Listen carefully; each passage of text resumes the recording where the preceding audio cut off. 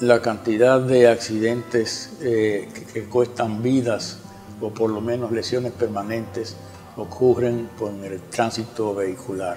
Es importante, por lo tanto, que esta campaña que desarrolla el Gobierno Nacional para la prevención de accidentes de tránsito y catástrofes de esa naturaleza merece el apoyo, la atención y la dedicación de todos. Es importante, en consecuencia, que todos nos sumemos a esta campaña tan importante eh, que salva vidas y economiza dolores y lágrimas en los hogares dominicanos. Únase a esa campaña y salvaremos juntos muchas vidas.